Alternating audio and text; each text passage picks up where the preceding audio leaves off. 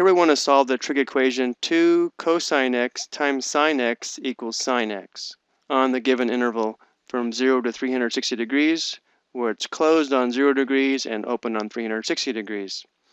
We can use many of the same algebraic techniques that we use to solve equations on trig equations. So if we were to set this equation equal to 0 by subtracting sine x on both sides,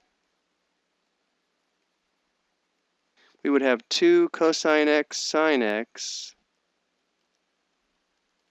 minus sine x equals 0.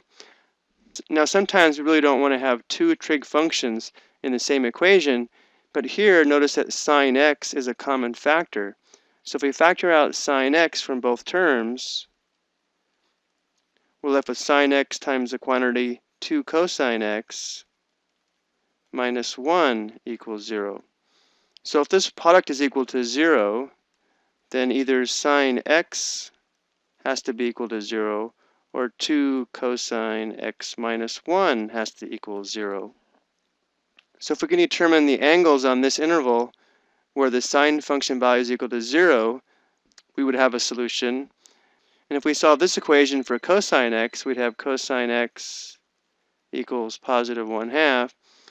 So now if we can determine angles where the cosine function is equal to 1 half, we also have solutions.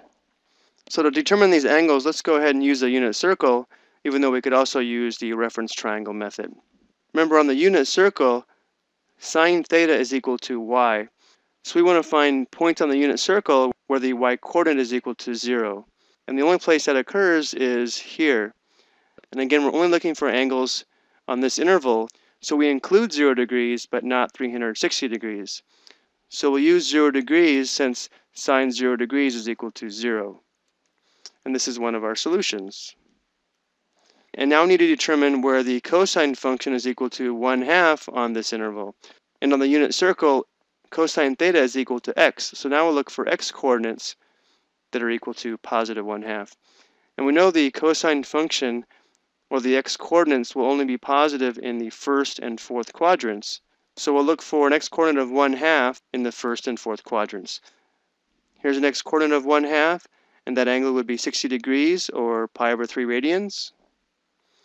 And x is also equal to 1 half here, where theta would be 300 degrees, or 5 pi over 3 radians.